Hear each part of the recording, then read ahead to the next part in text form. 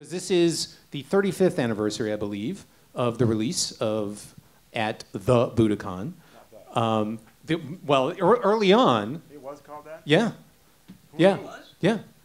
Actually, there's there's an al- there's an album. One of the album sleeves, the early album sleeve, says "At the Budokan." It got changed to "At Well, it's Budokan." probably just like at some- Madison's. Yeah, yeah, yeah.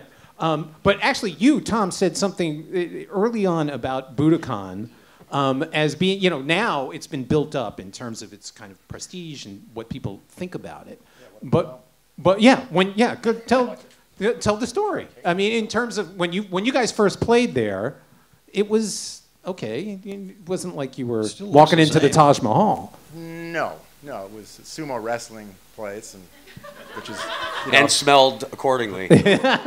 who doesn't like sumo wrestling, you know? And, you know, and uh, but we never saw the outside. We were just shuttled in there in an armored car or something, or a mail truck. I don't know, some metal vehicle with a metal. they had no windows, sliding around in the back, and okay, you're here. Gee, that was a quick Mm, nice. two hours. Oh, the traffic was terrible. Thanks. Yep.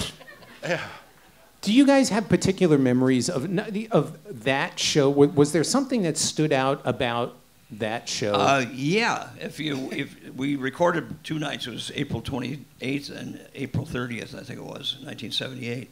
And uh, if you watch the, the video that we did, and then you hear the album, when we did "Ain't That a Shame" one night, a girl jumped off the balcony onto the stage and ran up and grabbed me. I think she was aiming for Robin, but she grabbed me instead.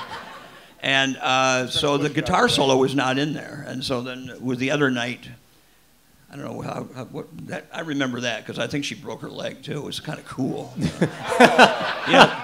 Another thing about Budokan that I remember was that just before we went on, we uh, had a slated amount of time to play, and uh, the the Japanese are very efficient, you know, and they they studied the set list and they came up to us and said, uh, "Listen, uh, you're short. You need to add another song."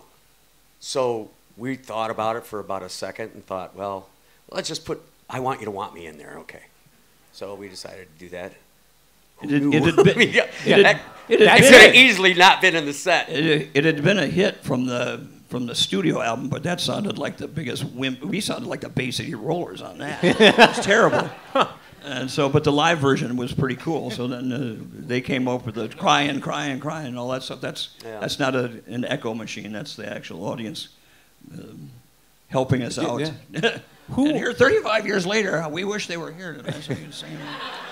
And a lot of people always uh, ask me why I talk the way I do. well, I was just getting to who, the who told, yeah, who told you to talk so slowly? My manager told me We fired him very quickly, though.